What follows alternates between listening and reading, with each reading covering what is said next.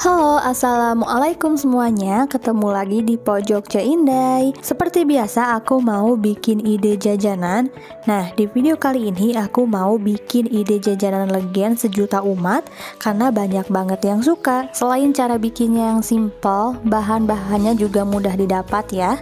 Yang mau tahu cara bikinnya kayak gimana, yuk langsung aja kita ke proses pembuatannya. Tapi sebelum itu, jangan lupa tekan tombol subscribe, like, komen, dan loncengnya juga agar gak ketinggalan sama video-video terbaru dari Pojok Cindai.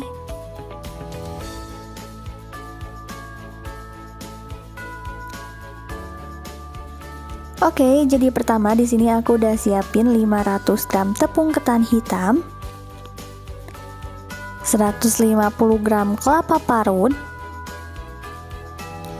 470 gram gula merah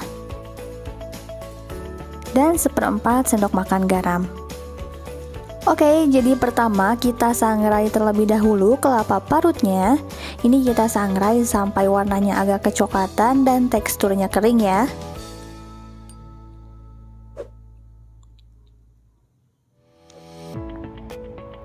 Kalau udah kayak gini, langsung aja kita angkat dan kita sisihkan terlebih dahulu.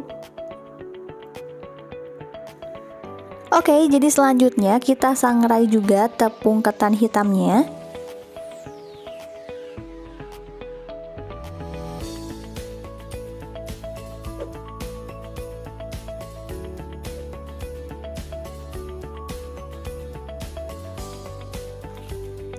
Nah, jadi setelah itu kita sisir gula merah. Ini fungsinya biar pas nanti kita masak gampang larut di air ya.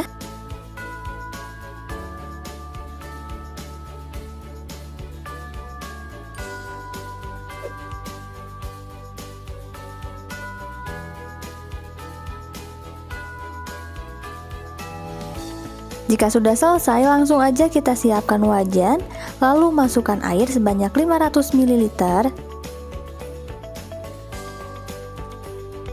Setelah itu, masukkan juga gula merah yang sudah disisir tadi. Kita masak sampai gulanya larut ya. Tambahkan seperempat sendok makan garam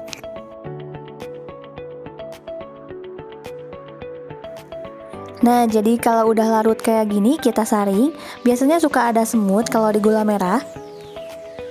Setelah selesai, masukkan kelapa yang sudah disangrai. Lalu aduk sebentar.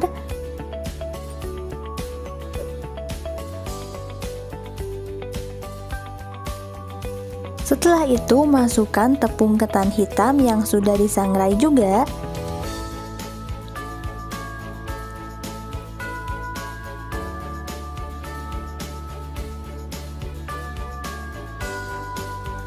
Jadi ini terus kita aduk sampai menggumpal. Gunakan api kecil ya.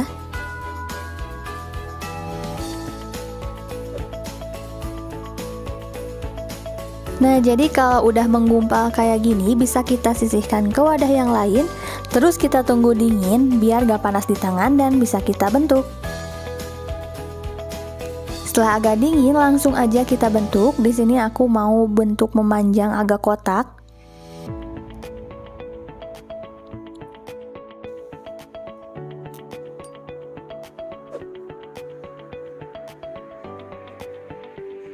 Nah, jadi untuk ukurannya kira-kira sebesar ini. Setelah itu langsung aja kita masukin ke tepung ketan hitam yang sudah disangrai. Ini biar gak lengket satu sama yang lainnya.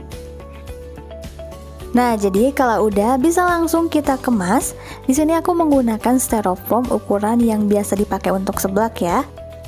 Sebenarnya untuk ukuran dan kemasan bisa kita sesuaikan dengan target pasar kita tapi untuk referensi, di sini aku isi sebanyak 6 buah dan bisa kita jual seharga Rp15.000 ya. Dan dari semua bahan yang tadi bisa kita dapetin 5 kemasan styrofoam seperti ini. Nah, jadi jajanan legen ini masih hit sampai sekarang. Di daerah aku namanya ladu ketan hitam. Rasanya manis, gurih, legit. Ladu ketan hitam ini enak dimakan ditemenin sama teh anget ya.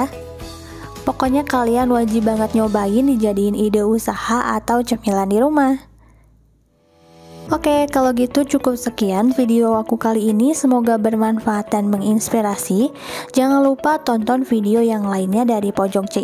Selamat mencoba, dadah bye-bye.